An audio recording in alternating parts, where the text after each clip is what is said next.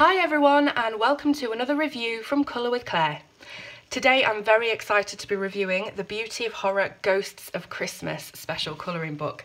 This has just dropped through my door literally five minutes ago and I've had a quick flick through and I just knew that I'd have to jump on and do this review and sort of get the full appreciation of each page with you as I usually do when I receive any of the new books from Alan Robert because you know how much I love horror. Um, and this one is just, first of all, I didn't even realise it was going to be this size. So I knew that it was going to have less pages than the standard Beauty of Horror books, um, but I didn't check the listing properly. I didn't look at the sizes and the dimensions. And it's actually really small and cute and compact. I absolutely adore it. I really wasn't expecting it to be that small. Um, it is, in fact, 17.9 by 18.6 centimetres according to the Amazon listing. And just in case you want to see that kind of visually, here is a standard Beauty of Horror book, and we'll put that next to the Ghost of Christmas, and you can just see it's tiny. It's so cute though, I love it. It's like having a little bit of horror that you can just take around with you in your bag or anywhere you want to go. It's a really manageable size. So I'll move that out of the way. Now, as you can see, this is not camera trickery. I actually have two copies of this book and one of them is of course going to be going to one of you lucky followers. Um, I'll be doing a giveaway at the end so stick around for that if you want to own your own copy of this horrible Christmas book. Okay so here we go. So the book itself has beautiful red and gold foiling to the front all over the place not just in little touches here and there or just on the title but the foiling they really have gone to town with this and it's also all over the back as well absolutely stunning. I love it. I love the compactness of it, first of all. That's my favourite thing about it so far, but I haven't looked in it yet properly, so uh, let's start. So we have the usual inside cover, which is this deep blood red with a pattern, like a wallpaper pattern in black. And then we have the usual title page, what we get with Alan's books.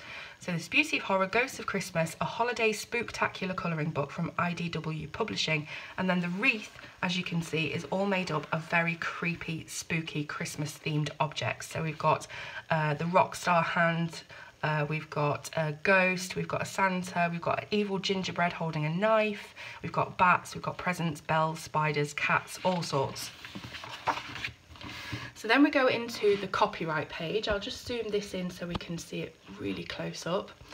Um, and you can see again we've got a kind of a wreath thing going on with these hanging baubles and severed limbs. We've got Guliana's dog here and a little bow with a skull in the middle. So even, you know, these kind of rubbishy, boring pages have something beautiful to colour on them. And I really love this bit here. It says, any similarities to persons living or dead are purely coincidental. love it, love it. So here we have our uh, nameplate page. And this says, naughty list, your name here. We've got a Santa hat hanging from the edge and we've got Guliana playing with her Christmas presents. So she has a doll here that has a knife stuck through it. She's stitching up her teddy bear and it just looks very, very creepy. She's also wearing her kind of festive clothing. And of course, with all the Beauty of Horror books, we do have a lost and found kind of page running, uh, theme running through through the book. So here you can see, can you find Guliana's lost presents? So we have masquerade masks, severed unicorn heads, bloody ice skates, cans of worms, all sorts. And again, we have the borders, so something to colour on every page. Now we do have a little bit of poetry here, as we've come to expect. I will read it to you in my most scariest voice. Twas the night before Christmas, when all through the house Many creatures were stirring. I think one ate a mouse. Limbed-filled stockings hung by corpses with care. Guliana tied Santa to his favourite red chair. She screamed, Now Dasher, now Dancer, now Prancer and Vixen. Tonight is the night we spread our affliction. With a wink of her eye and a twist of her head, poor old Saint Nick was surely quite dead. He spoke not a word and she went right to work dismantling Christmas with a smile and a smirk. She sprung in his sleigh and drove out of sight. Happy Christmas to all, and to all a good fright. Love it, love it. So here we've got a border of animal skulls and stockings with scary snowmen on them. We've got some kind of zombie heads up here as well. And then we move on to the book itself. Now the first thing you'll notice is that every single other side of the page just contains the name, the uh, title illustration with the border. And that's because this is a one-sided book.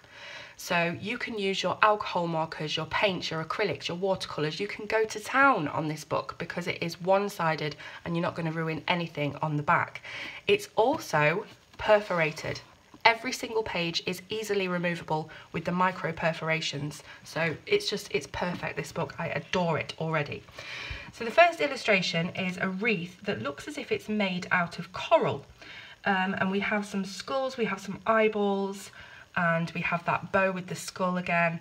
But most importantly, we've got Guliana who has taken command of Santa's sleigh and her kind of reindeer pet dog uh, is, is leading the sleigh there, but they, they don't have any kind of reins or anything because, you know, magic.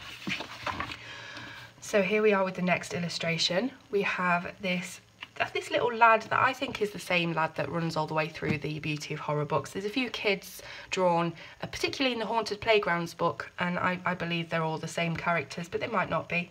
Uh, and you can see here that we have a melted snowman because he is holding in his hand a flaming torch. So he is going around just melting all of the snowmen everywhere, just being a devil basically. So we've got um, the North Pole sign, so we know he's right up top near Santa's house. Uh, and again, we have the kind of decorated border.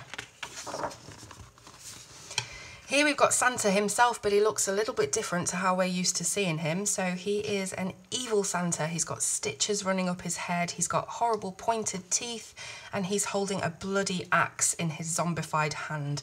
This is in a kind of frame, so as if it's on the wall, as if it's a kind of portrait and uh, again we have little bits of decoration on the frame. It's always very, very decorative, Alan's work. The next illustration, oh, what have we got here? So this looks like, um, well, it could be Mrs. Claus or it could just be um, a random grandma or something, but she is definitely not happy with how her biscuits have come out here. She has tossed her entire uh, tray of biscuits and cookies everywhere. She's covered in what could be cookie dough or it could be blood, who knows, it depends how you colour it. And uh, yeah, she's not looking happy at all. I think uh, Maybe she's come across this very jolly, jolly kind of festive tray of Christmas cookies and she's not having that at all. It's got to be more spooky and more frightening for her. But yeah, really funny that one. So next up we have another um, sort of contained image within a frame. This is a gingerbread house that is burning down and the gingerbread men are running and fleeing from the scene and they look very, very distressed. So you can see that this house is just covered in flames. It's dripping with, um, dripping with heat and flames here. And we've got a rather creepy skeletal looking hand coming in. Uh, I don't know whether he's putting in the gingerbread man with the skull on it or lifting it out, but very, very distressing scene anyway. It'd be brilliant to colour that one. Uh, so we have a fireplace here, brick fireplace. You could do this as cobblestone, you could do it as natural red brick, you could do it any way you want really. But in the stockings we have that skeletal hand again poking out. We've also got a really cute but creepy caterpillar up here just slithering along. And in the fire are lots of different skulls. So human skulls it looks like, why not try and make a fire out of them? I don't know if bone burns. It's a bit of a weird question to ask, rather worrying question to, to Google, I should think. Uh, but here we have um, a kind of uh, zombified looking cat. It looks very, very mangy, as if he's not eaten for quite some time and he's monitoring this fire here. Here we have a Christmas present that is bursting out with a kraken type creature that has eyeballs at the end of its tentacles and very sharp teeth. And we have a very scary looking elf with his pointed toe shoes and his bobble hat just uh, just screaming, screaming for no reason next to that. I don't know if he's scared of it or he's just delighted with what uh, with what he's got for Christmas, but there we go. Here we have a festive looking snow globe and the creatures inside look as if they are carol singing, but would you want these people turning up on your doorstep in the dead of night? I doubt it.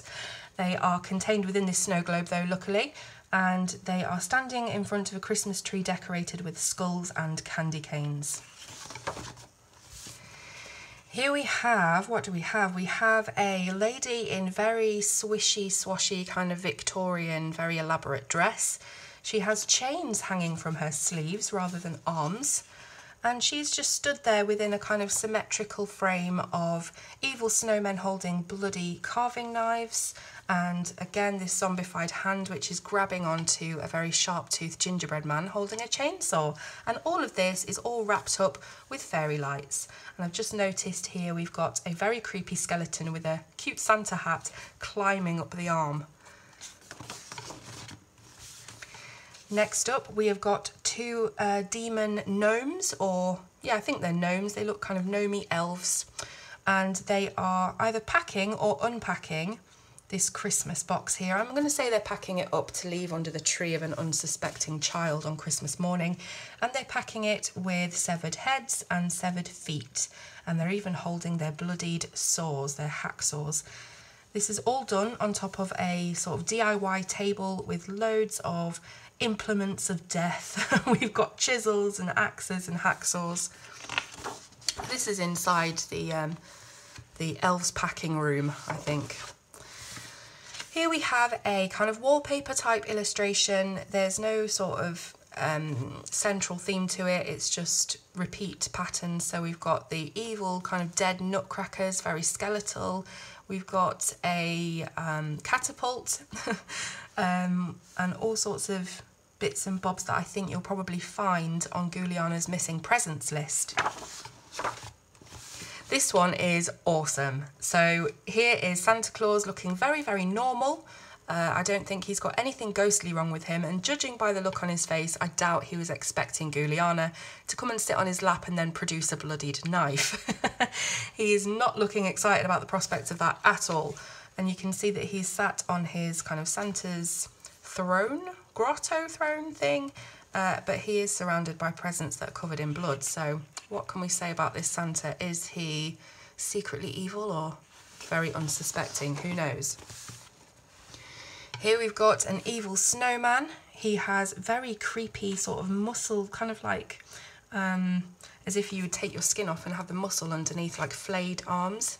And he has this huge, jagged, creepy smile. And again, he's surrounded by a decorative spherical frame. So Santa is again at the brunt of Guliana's mischievousness, mischievousness. uh, he's been tied up to this chair and he has been gagged. And we have this awful looking uh, reindeer that is completely stripped to the bone, sort of taunting and teasing and torturing him there and we have uh, the window that has been broken so I don't know whether that is how he got in or if he just turned on his master halfway through the Christmas Eve. Who do, how do we know? We don't. We just have to speculate, but um, it all depends on, on what you take from these illustrations. They're very, very fun to kind of try and dismantle. So here we have a Christmas tree that is made out of what looks like a spine in the centre and it's standing on a couple of feet I'm not entirely sure what this is made out of here. It could be anything, to be honest. Uh, we have some Christmas decorations that is just applying to the, the different branches. Uh, they're made out of skeletal reindeer and candy canes and different skulls. And here are her presents underneath. This is called Merry Creepmas, so we've actually got some text to colour on this, which is really fun. You could even turn this into some sort of Christmas card or an embellishment for the top of a card if you wanted to. Uh, we have um, a skeleton wearing his Santa Claus beard and hat, and again, all of the different toys that Guliana has opened on Christmas morning. Here is a bundle of presents all wrapped up with that skeletal hand reaching out again and we have a huge creepy horrible kind of almost looks like a, a slice of orange or lemon on his back um, and he's just crawling all over these presents. I don't think you'd want to go anywhere near your gifts if a spider of that size and uh, beastliness was crawling all over them. We do have that little caterpillar here again, it's very sweet. This says naughty elves empty shelves. So this one, there's a lot of kind of Christmas characters tied up in this book. We have an elf here that has been tied and uh, staked to the floor and he has also been gagged with some tape and we have these creepy evil elves that have come along and taken his job and they are dragging across here a, um, what do we call this? I know what it's called. You know what it's called. You know what I'm like for forgetting things, but I'm pretty sure that that elf is going to end up in there at some point. Here we have what could be the evil Santa from earlier on in the book, just looking at his fare that the children have left him. It says for Santa. We've got some nice looking Christmas cookies, there's nothing wrong with those at all. And a glass of, well, it probably could be milk. It looks a bit fizzy, so maybe there's a bit of poison in there, who knows? Depends how you colour it again. Uh, and he's just contemplating, I guess, on whether to eat those down or, yeah. Here we've got an outside scene with this huge moon in the background and some bats flying around. And this is Guliana stood on top of a snowy chimney and she's just thrown her friend off there and he looks like he's enjoying it to be fair. So I think they're just having a, a bit of a festive game there. Here we've got the werewolf that often appears in Alan's books, often against that kind of backdrop of uh, the moon. And he is in this frame of something that looks as if it's been torn open. So maybe he's done that with his claws. Maybe he's looking out of a present. It depends how you want to look at it. But um, we've also got some uh, stalagmites and stalactites.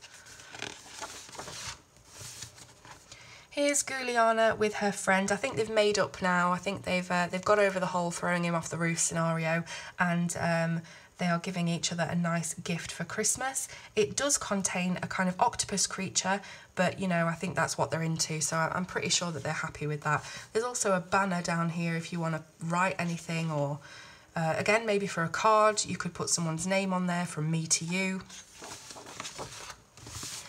Here we've got Evil Santa again, and he has some reindeer heads in his sack. So I'm thinking that maybe that Santa that was tied up earlier in the chair has overcome his reindeer tormentor and turned evil himself. And here he is, here he is with his chainsaw going off into the distance. Here we've got a rather wallpaper type design. Um, it has loads of very simple Christmas tree shapes in the background and then we have the reindeer names Comet, Donner, Dasher, Rudolph and obviously others down here. Um, and this looks like the skull's kind of mounted on the wall, which is really interesting. I would have liked to see this as an entirety with all of the reindeer on it. I think that'd be pretty cool. Here we have Santa who has been put into the oven by these evil little gingerbread men and gingerbread girls um, not being, you know, gender biased here. And uh, they are holding their pointy implements. We have a fork and a knife and what looks like a pizza cutter and a catapult. And this one here is just holding what I call a waffle grid or a fish slice. Uh, I don't really know what he's going to do with that. It's not the scariest of implements, to be honest, but he looks like he's having fun anyway. And then here, I believe this is the front illustration, yep, which has the thicker lines for you to colour and put someone's name in again if you want to. Now we have the create your own page, which we do find in our Beauty of Horror books at the end. And it's just letting you create your own horrible designs for these bauble shapes here. And on the very back, we have two pages of palette area for you to put in your different colours, test out your different markers, things like that. It doesn't really matter about bleed through though, to be honest, on this because it's one-sided, so you don't have to really worry about that. On the back, we've got the key to Guliana's lost presents, but I'm going to flick by that quickly so you don't get any uh, any spoilers.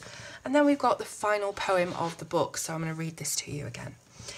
Silent night, deadly night. All is wrong, all is not right. Screams can be heard from Santa's workshop afar, where undead elves pack entrails into jars. Snowflakes fall and cover their tracks. Underneath the white blanket lies a red bloody axe. Rudolph and friends will long be remembered, lining the halls with their heads mounted, severed. Guliana has her list and she's checking it twice. If you've been good, you will pay the price. The naughty ones will rule Christmas Eve because Guliana has more tricks up her sleeve. Now she's off to create her next haunted mess. Where she ends up is anybody's guess. And we have her down here with her naughty list, going off into the night, flying off to find her little minions. And again, we have that same uh, border or very similar border with the Christmas lights and the animal skulls. So there you go absolutely amazing. I love it. As always with Alan's books, I'm not going to gush. You know how much I love his work. He is absolutely the best, number one, top horror illustrator uh, or, you know, creepy kind of illustrator in my book. And just in case you wanted to know what the paper is like, I know it's one-sided, but you're still probably curious. It is lovely and thick. There's the ping. It is kind of an off-white, very, very light ivory colour. It's definitely not pure white. Uh, and it does feel quite smooth. So I'm imagining that it does have a decent surface for coloured pencils because all of his other books do. This feels very, very similar. So, specs. Now, in the UK, this is £13.99 and in the US it's $9.20. I don't know why there's such a discrepancy in price there. Um, I don't really know what the exchange rate is at the moment with Brexit and all that, so um, it might work out, I don't know. But it's going to be released on the 30th of October, so it's not quite out yet, but you can pre-order it. All the links are going to be in that description as usual. And of course, you can try your severed hand at trying to get yourself a giveaway copy of this book. So this is going to be open worldwide. So you can join from absolutely anywhere in the world, try and get your hands on this. Uh, and I will be leaving details of that in the description box as well of how you can go and put your name forward for this. So I really hope that you have enjoyed this review. I've really enjoyed doing it as always. Thank you to Alan for creating yet another masterpiece for us to colour. And um, what else can I say? Just leave your comments below if you've enjoyed it and do give a thumbs up please. Thank you so much for watching and I will see you soon on Colour with Claire.